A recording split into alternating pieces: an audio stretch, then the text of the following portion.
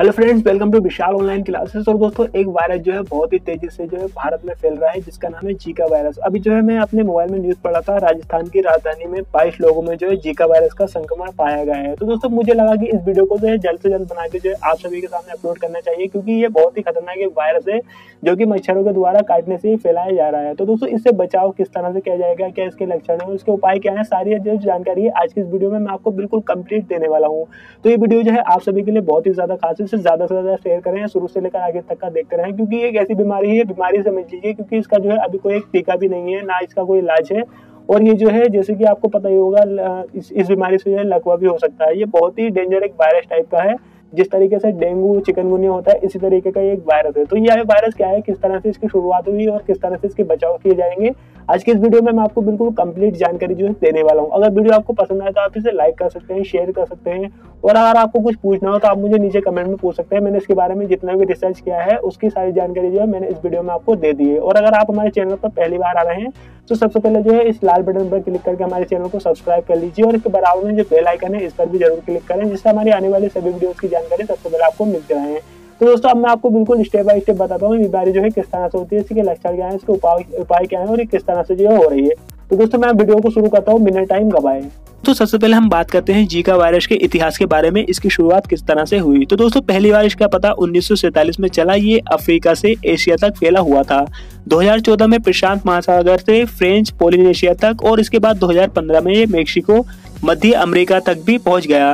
वर्ष उन्नीस सौ सैंतालीस में वैज्ञानिक पूर्वी अफ्रीका के पीले बुखार पर जो है शोध कर रहे थे। ये शोध अफ्रीका में जीका जंगल में रिसर्च मकाक को पिंजरे में रखकर किया जा रहा था। दोस्तों, मीका मकाक जो है एक प्रकार का लंगूर होता है।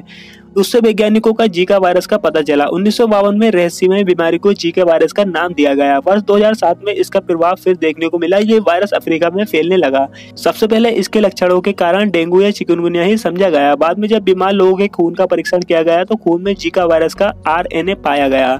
तो दोस्तों, इस तरह से जो है जीका वायरस का विकास हुआ। अब हम बात करते हैं कुछ इंपोर्टेंट जो की आप सभी के लिए जानना बहुत ही ज़्यादा ज़रूरी है, जो की अब यहाँ पर ट्रेंडिंग में चल रही है। तो दोस्तों, राजस्थान की राजधानी जयपुर में बाईस लोगों की जीका वायरस से संक्रमित होने की खबर मिल चुकी है।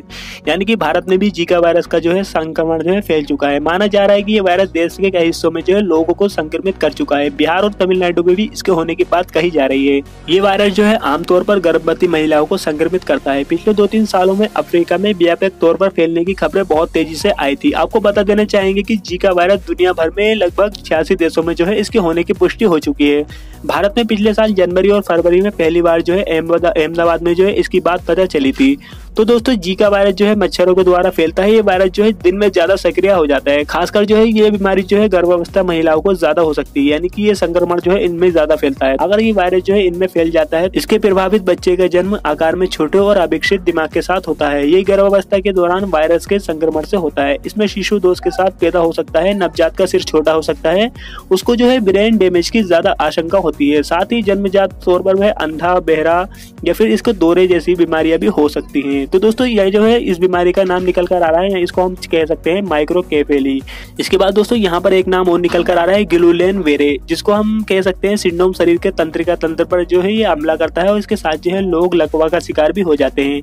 हालाँकि ये स्थिति जो है, स्थायी नहीं होती है। युवा लोग इसके ज़्यादा शिकार बन जाते हैं। न्यूरोलॉजिकल जटिलताएँ भी ये दे सकता है। अब हम बात करते हैं जीका वायरस के लक्षण की। तो दोस्तों, इसका लक्षण जो है, बुखार आना, जोड़ों का दर्द, शरीर पर लाल चक्के पड़ना, थकान होना, सिर दर्द, आँखों का लाल होना, यानी कि तो जो लक्षण जो है, आपको डेंगू या वायरल के होते हैं, वही इस बीमारी के भी हो सकते हैं। लेकिन इसके वायरस का आरएनए जो है, अलग तरह का होता है। तो यहाँ पर जो दोस्तों, ये बीमारी बहुत ही खतरनाक तरीके से हो जाती है। तो दोस्तों, ये एडिस प्रजाति के मच्छरों के काटने से ही फैलता है। ये मच्छर दिन में काटते हैं, खासकर सुबह, जल्दी या फिर दोपहर बाद या फिर शाम को। तो दोस्तों, अब बात आती है, ये बीमारी जो है, ज़्यादा किस तरह से फैलती है? तो दोस्तों, ये बीमारी फैलती है खून चढ़ाने, शारीरिक संबंधों से। अब बात आती है दोस्तों, इसका बचाव किस तरह से किया जाए और इस बीमारी का टेस्ट जो है किस तरह से किया जाता है? तो दोस्तों, खून, मूत्र और लार से जो है इसका टेस्ट हो सकता है। मच्छरों के काटने से बचें। शरीर का जो अधिकतम हिस्सा है उसे ढककर रखें, मच्छरदानी का प्रयोग करें। मच्छर पुनर्जनन रोकने हेतु ठहरे पानी को इकट्ठा नहीं होने दें। बुखार, गले में खराश, जोड़ों में दर्द, आँखें लाल होने जैसे लक्षण नज़र आने पर अधिक से अधिक तरल पदार्थों का सेवन करें और भरपूर आराम करें। स्थिति में सुधार नहीं होने पर फ़ौरन जो है आपको डॉक्टर को दिखाना होगा। तो दोस्तों, इसका जो है क्या कारगर टीका है, ये भी बहुत से सवाल जो है लोगों ने पूछे हैं। तो दोस्तों, अब तक हम आपको बता देना चाहेंगे, इसका कोई भी कारगर टीका नहीं है। हालाँकि इसका कोई खास उपचार नहीं है, तब भी पैरासीटामोल मददगार हो सकती है। तो दोस्तों, आशा करता हूँ वीडियो आप सभी को बहुत ही ज़्यादा पसंद आई होगी। इसे ज़्यादा से ज़्यादा शेयर करें, ताकि आपके दोस्तों को भी जीका वायरस के बारे में पता चल जाए। एक बहुत ही खतरनाक वायरस है, जो की बहुत तेज़ी से जो है भारत में फैल रहा है। तो इस वीडियो को लाइक, शेयर करना ना बोले नीचे मुझे कमेंट करके ज़रूर बताएँ, क्या आपको जो है इस वायरस के बारे में पहले से जानकारी थी या नहीं। आज की वीडियो में फ़िलहाल इतने ही। Thank you for watching